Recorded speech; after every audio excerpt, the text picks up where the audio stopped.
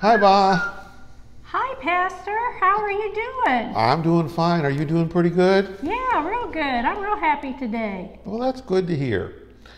I was um, thinking, have you ever played out in the in the in the yard somewhere in the pig in the sheep pen and and uh, they've been picking for teams? Oh, yeah. You know, That's like fun. I like getting picked. you know, they pick one for one team and they pick one for the other team. Yeah. How do they usually do that? What do you mean how they usually do that? I mean, how do they decide who they want? Oh, well, I don't know. They probably usually pick whoever they think's best at the game. Yeah, I think so. That's probably it. But as they're as they're picking along, say you're not picked first. What does that mean? You're not very good. No, it just means they thought someone was better. Yeah. Okay. No big deal.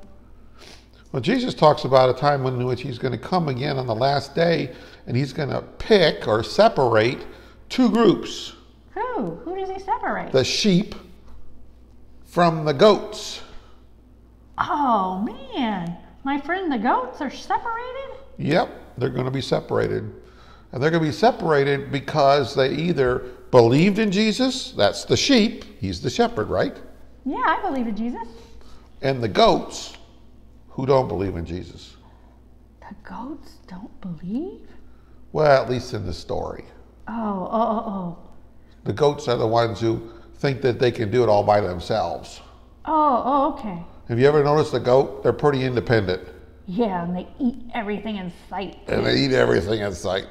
Uh, that's right, that's a goat too. Uh, but they don't think they need a shepherd. Right. But sheep know they need a shepherd. Yeah, like Jesus. I need Jesus and I need my shepherd. Okay, and so Jesus tells a story that on the last day, the very last day, there will be no more after that. Jesus is going to separate those who believed in him, he calls them the sheep, The sheep. from those who did not believe in him, he calls them The the goats. And guess what happens? What happened? Well, the sheep get to live with the shepherd forever. Ooh, Isn't that good? that's good. I want to live with Jesus. Yeah, I, I do too.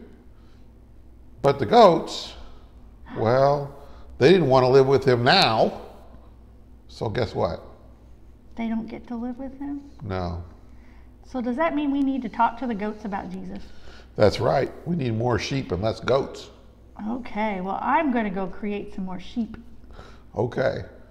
And I'll tell, remind the kids that it's very important that you believe in Jesus, right? Ba? Right.